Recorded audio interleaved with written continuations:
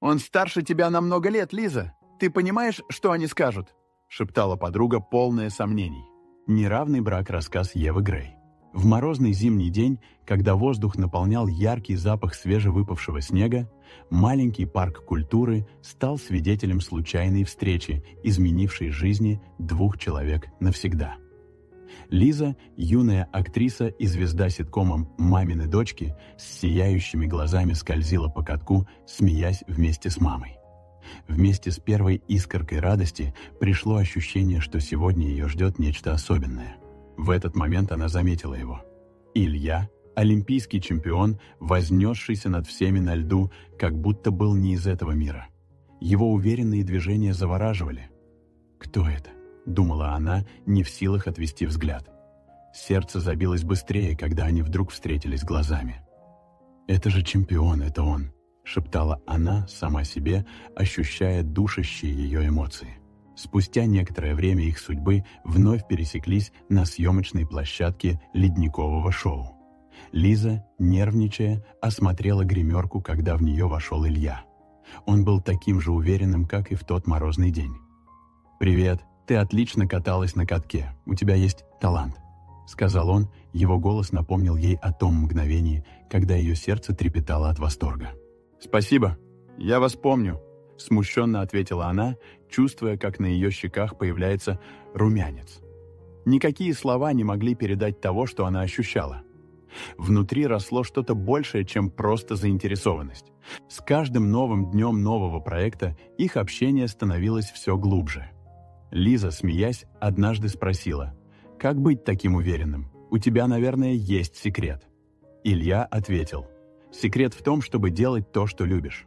Но помни, Иногда приходится очень сильно бороться за то, что тебе важно. Ее взгляд потупился, и она почувствовала, что между ними начала происходить настоящая магия. Несколько лет спустя их чувства начали выходить за пределы дружбы. Они стали встречаться тайно, зная, что это вызывает множество осуждений и непонимания в обществе. «Ты понимаешь, что они скажут? Он старше тебя на много лет, Лиза», — шептала подруга, полная сомнений. Лиза лишь вздыхала в ответ, ее сердце знало правду. Но он меня понимает. Это не просто какая-то игра, это гораздо больше. Когда Лиза узнала, что ждет ребенка, их мир перевернулся в одно мгновение. Холодный страх пробежал по ее телу. «Илья, что мы будем делать?» — спросила она, глядя на него.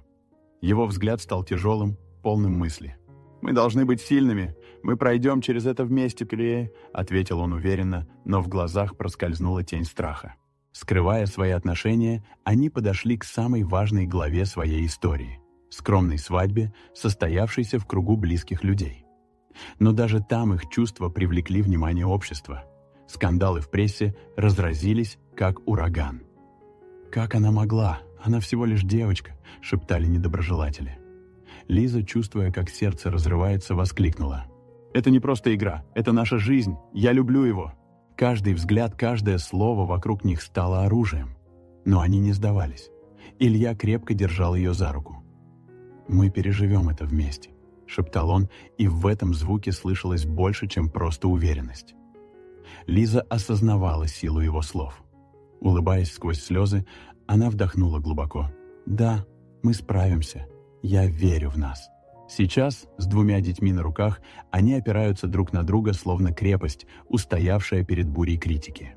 «Помнишь, как все начиналось? Мы не думали, что это станет настоящей историей любви», сказал Илья, обнимая Лизу. Она улыбнулась сквозь слезы, размышляя о том, как они прошли сквозь все преграды. «Тогда мне было страшно. Я боялась, что никто не поймет нас, но ты стал моим светом», произнесла она. Ее голос дрожал от чувств. Илья прижал ее к себе. Мы стали сильнее, чем когда-либо. Эта история — лишь игра воображения, сотканная из фантазий и эмоций. Все имена и события, описанные здесь, не имеют связи с реальностью. Любые совпадения с реальными людьми или фактами случайны и неумышленны. Ваша Ева Грей.